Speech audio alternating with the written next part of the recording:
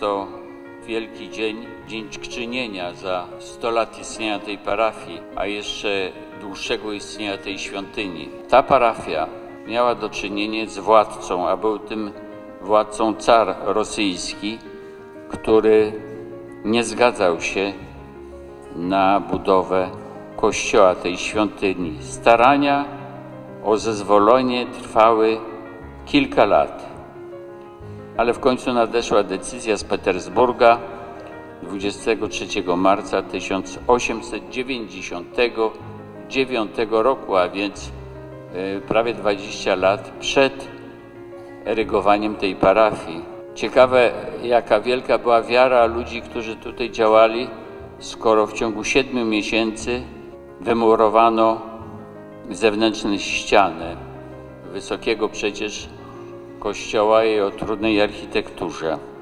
A więc był to żywy pomnik wiary ludzi tamtego okresu.